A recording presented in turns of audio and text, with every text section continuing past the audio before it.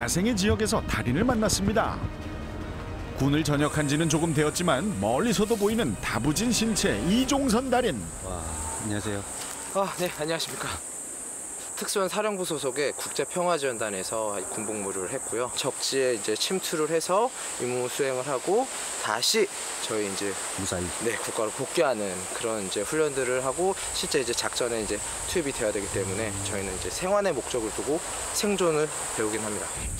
수차례 다녀온 파병에서 달인이 배운 것은 세상엔 무슨 일이든 일어날 수 있고 그 일에 대비해서 어떻게든 살아남도록 하는 것이 최우선이라는 것.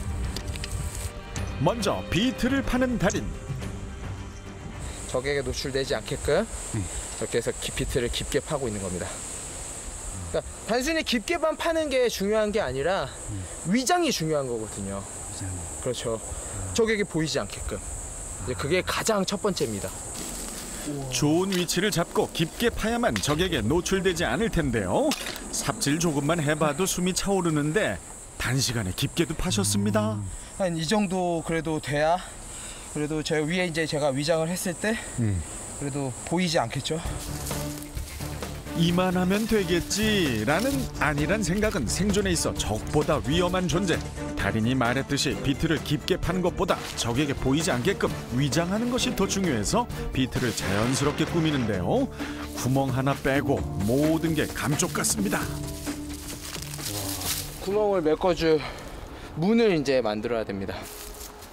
실전은 연습처럼 연습은 실전처럼 허가된 사유지에서 생존을 위한 비트 하나 만드는데도 진심인 이 남자 나뭇가지를 여러 개 줄로 엮어서 근사한 출입문 하나를 뚝딱 만들어냅니다 지금 해가 너무 어두워지고 있어서 일단 빨리 만들어야 돼서 일단은 급하게 만들었습니다. 야생에서 급하게 뚝딱 만든 것 치고는 상당한 quality를 자랑하는 대문을 들고 비트 안으로 들어가는 달인. 겉으로 보기엔 사람이 들어갈 수 있을까 했지만요 적으로부터 내 자신을 완벽히 숨길 수 있는 보안성과 두 다리 뻗고 누워 쉴 수 있는 공간까지 잘 마련된 보금자리였습니다. 비트 만드는 걸 처음부터 끝까지 지켜본 제작진도 어디에 달인이 숨어 있는지 잘 모를 정도로 은폐 엄폐. 확실하죠?